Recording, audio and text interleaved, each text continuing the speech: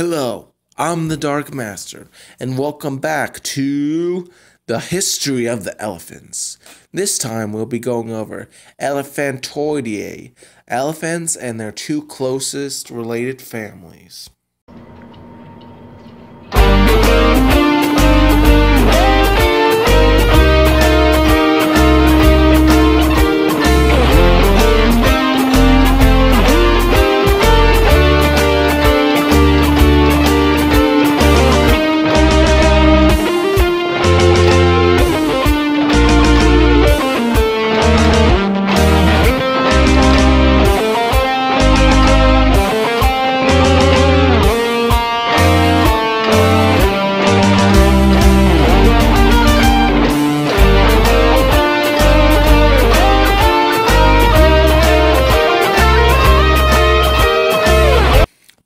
Is distinguished from the Gomphotheres and other parts of Elephantida by the shared hyoid characteristics.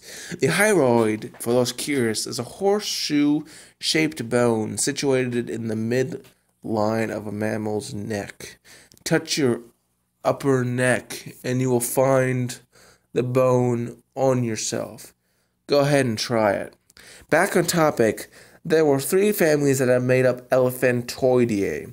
Anancidae, Stegodontidae, and Elephantidae. For this video, we will be covering the first two families. The third will be covered briefly at the end.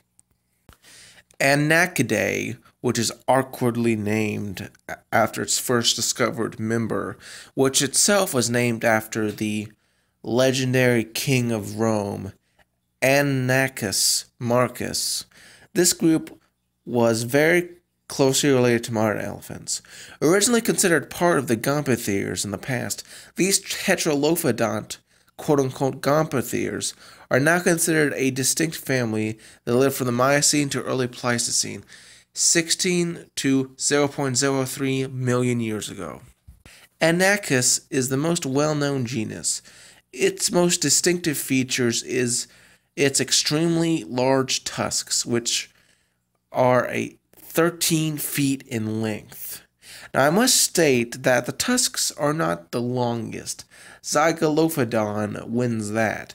Anancus, however, had proportionally the longest tusks because it was only slightly smaller than the modern elephant and with much shorter legs. As such, proportionally, it's much longer. Its molars were more cusp like, kind of similar to tapirs and pig teeth. Anancus used these to eat from trees and shrubs, digging out tubers in the forest floor. It died out when the forests gave way to grasslands. The next most well known genus was Tetralophodon. It existed from the late Miocene to the Middle Pliocene epochs, approximately 10.9 million years. It had four tusks. For that reason, it was classified with the Gomphotheres until it was discovered to be different from them. In life, it was 8.5 to 11.3 feet tall at the shoulder and 10 tons in weight. Its teeth indicate a diet of large fruits and vegetables. It actually appeared in a game I bought recently called Odyssey, the story of mankind. But that's a topic for a different video. This was a very successful genus that spread to Europe Africa, and Asia. Specimens first thought to be found in America were moved to a new genus. That genus was the similarly looking Pediolophodon, another very similar species that is otherwise little known. Another very similar genus was Paratetralophodon.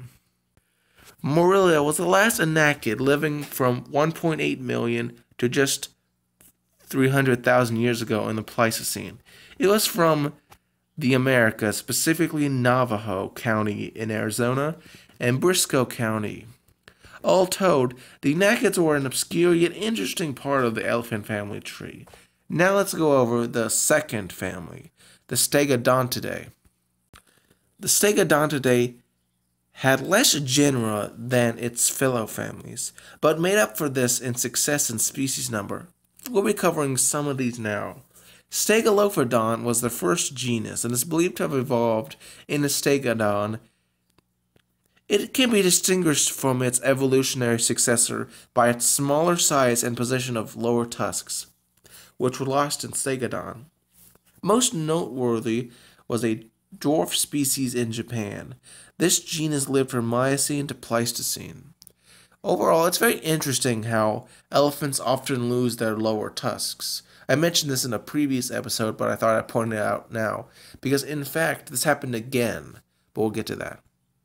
Its evolutionary successor, Stegodon, was even more successful, spreading across Asia and parts of East and Central Africa. Stegodon was one of the largest proboscideans, with Stegodon zdanskyi having an old male known to be 12.7 feet tall at the shoulder and 12.5 tons in life.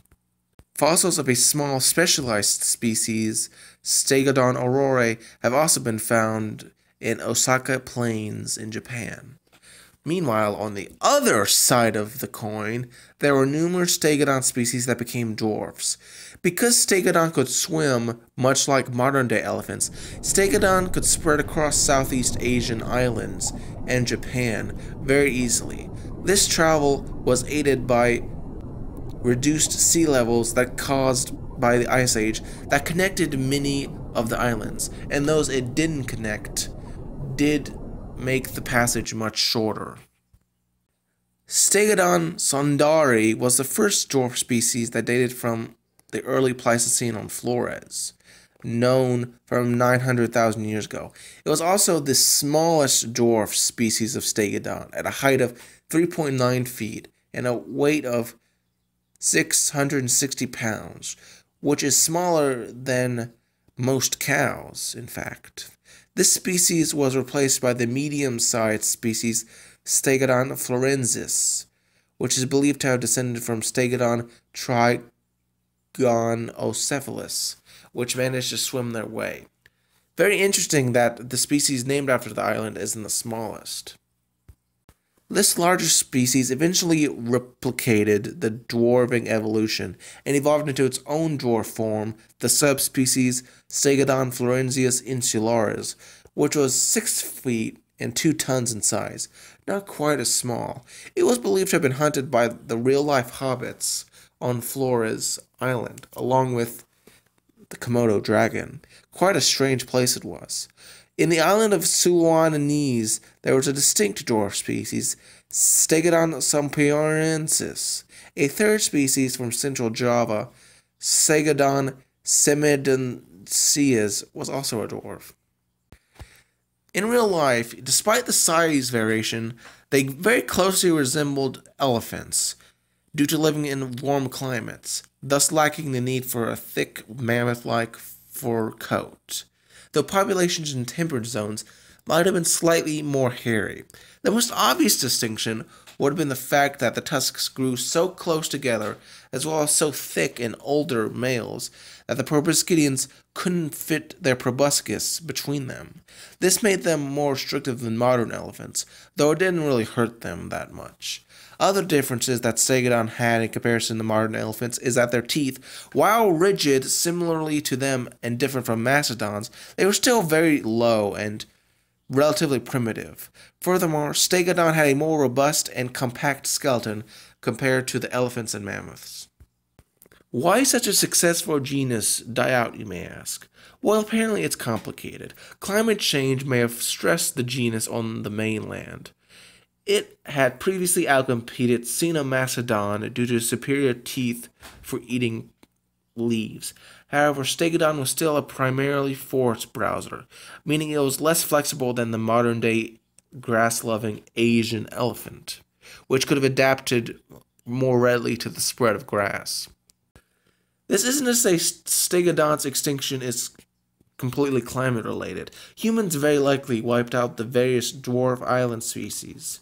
It's just that on the mainland, the situation is very muddled, and it's very unlikely that there was a single cause to its extinction. It is believed to have finally died out in the late Pleistocene, with possible Holocene small pocket populations surviving to just 4,100 years ago, which is actually relatively recent. So ends the tale of the stegodonts and this episode.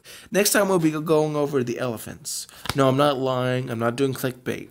You see, Elephantidae is actually literally the family of elephants, at least according to most scholarly websites and Wikipedia. Of course, it includes way more than just elephants.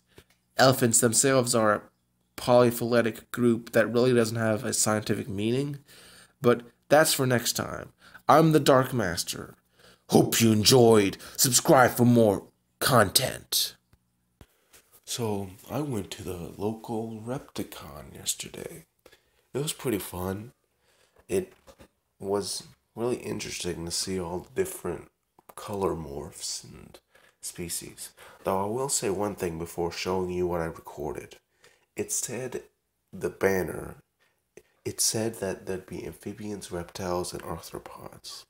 I looked, there wasn't a single amphibian in there at all.